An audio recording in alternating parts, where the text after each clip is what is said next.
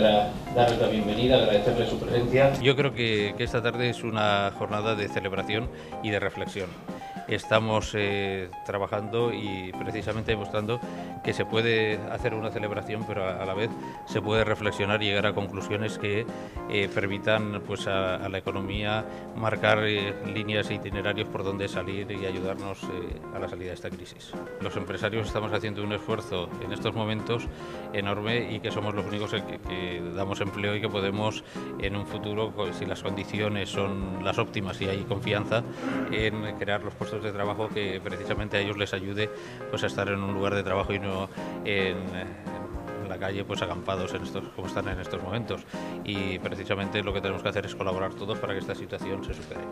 Las líneas de financiación son fundamentales y en estos momentos eh, bueno con la prima de riesgo que tiene España el diferencial con Alemania pues eh, está un poco más caro que en otros países pero precisamente por eso tenemos que esforzarnos entre todos y conseguir esos objetivos. Bueno, jo crec que, que els premiats eh, són eh, en la nostra societat. Tots que han, han participat en el jurat pues, han valorat positivament la trajectòria d'ells. Me voy a centrar más en el problema de la productividad y la competitividad. Lo que tenemos que tener claro es que muchas veces el montón de problemas que se nos viene por, por encima, la cuestión de dificultades, tenemos que buscar la causa, el origen de todo. El primero sería la competitividad como excelencia. Este país eh, tiene capacidad más que de sobra para abordar las dificultades y para salir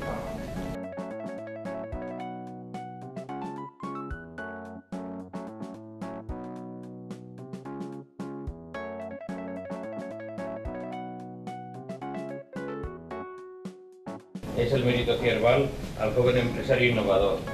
Y es para Iván Sempere Massa.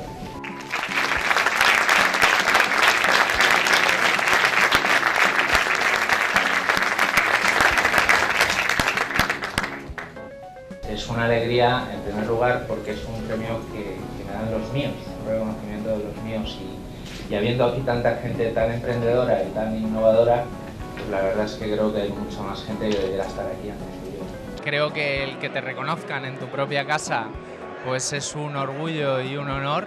Yo creo que emprendedor efectivamente se puede ser en cualquier faceta de la, de la, vida, no tiene por qué uno ser empresario, sin embargo a todos los empresarios se nos debería de presumir el ser emprendedores, ¿verdad?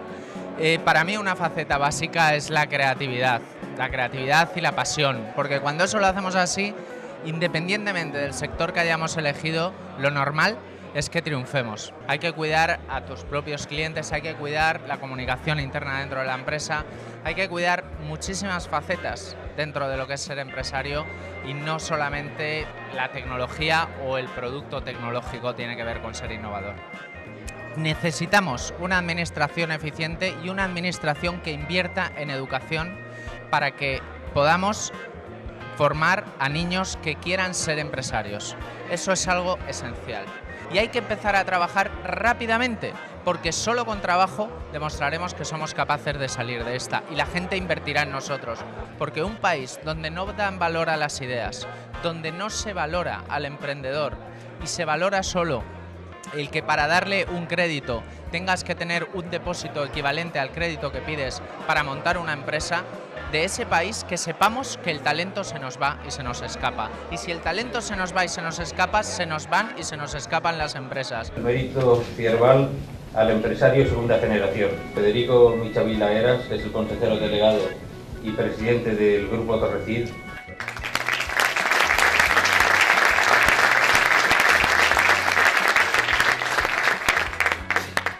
En primer lugar, agradecer este importante premio a Cierval creo que nos va a ayudar y estimular a hacer las cosas cada día un poquito mejor.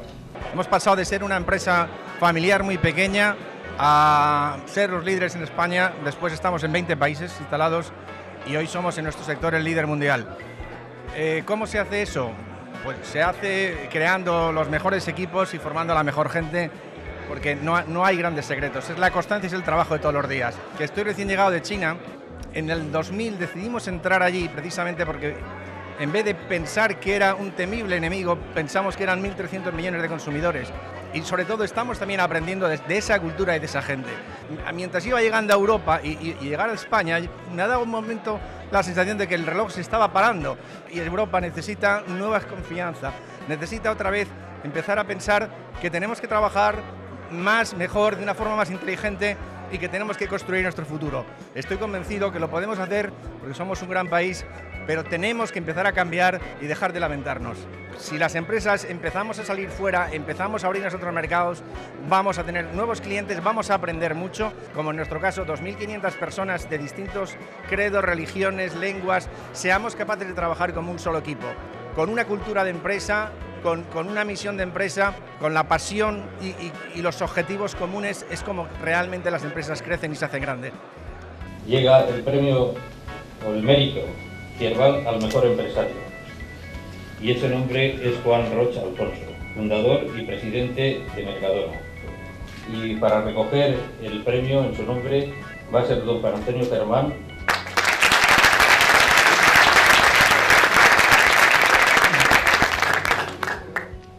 En nombre de, Juan, de Juan Roch, presidente de Mercadona, eh, yo quiero agradecer a Rafael Ferrando y a Cierval el reconocimiento eh, que hoy ha sido concedido. Bueno, en estos momentos el mercado en el exterior para nosotros es un proyecto.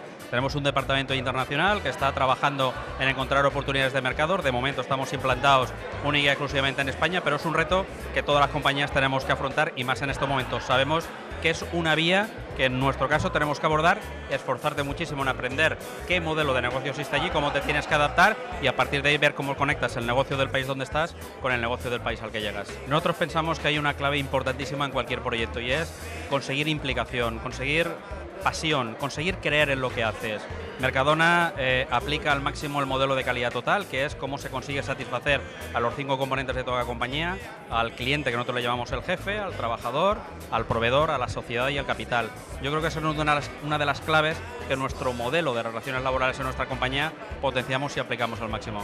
Si de algo estamos absolutamente convencidos que es la clave para salir de esta situación, es volver a retomar los valores de la cultura del esfuerzo y del trabajo. Eso si lo hacemos además interiormente, individualmente cada uno, no esperando a qué hacen los demás por ti, sino que puedes hacer tú por los demás, da una velocidad de crucero tremendo, que por otro es lo que estamos aplicando en nuestra compañía.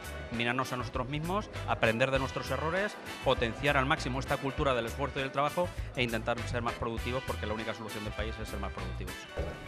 Siendo esta la primera vez que Cierval otorga unos galardones empresariales, no puedo menos que animaros a continuar con esta iniciativa.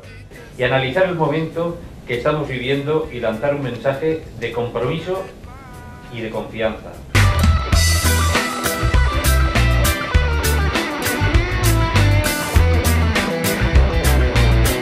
creer en un proyecto y un ejemplo de realizar en un proyecto, porque como decíamos, ser creativos está muy bien, pero luego con el trabajo hay que seguir esa creatividad y hay que convertirla en realidad. Desde luego sois un ejemplo de eso y os animo a que sigáis así. Soy, soy amigo vuestro ya, pero bueno, seguiré siendo cada vez más. Habéis entendido de que hoy no hay fronteras, no hay límites y al haber entendido eso os ha permitido el poder estar hoy en comunicación con millones y millones de personas en todo el mundo. Y me alegro de que haya gente como vosotros que esté dispuesto a romper las barreras y los límites tradicionales y que piense que hay que ser innovador también en esto. Nosotros pensamos que cualquier proyecto emprendedor arrastra, arrastraréis al resto de medios y nos arrastraréis a los demás con un proyecto común que al final es hacer cosas por los demás. Yo creo que eso es muy satisfactorio para todos. Enhorabuena.